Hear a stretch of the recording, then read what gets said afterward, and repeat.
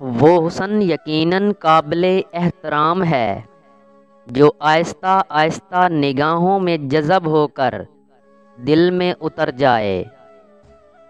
बाज़ार में रंगीन औरतें देख कर भी अगर मर्द आपसे ही मोहब्बत करे तो उस मर्द की कदर करो। चार दिन की भरपूर तवज्जो पाकर हवा में उड़ने से गुरेज करें। क्योंकि वही शख्स अगले चार दिन में आपको ज़मीन पर पटक भी सकता है। औरत की मोहब्बत का कोई सानी नहीं होता। मर्द की खुशी के लिए अपनी ख्वाहिशात और अदब भी मर्द की पसंद के मुताबिक कर लेती है। दस लोगों में से हो सकता है नौ लोगों को तुमसे मोहब्बत हो। लेकिन तुम्हें उस दसवें शख्स से ही मोहब्बत होगी, जो तुमसे मोहब्बत नहीं करता होगा।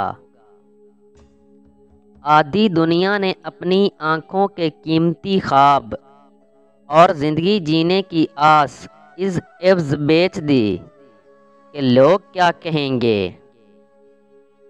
अगर मर्द अपनी दो बातों पर ध्यान देने लगे तो औरत को इश्क की बीमारी लगना शुरू हो जाती है।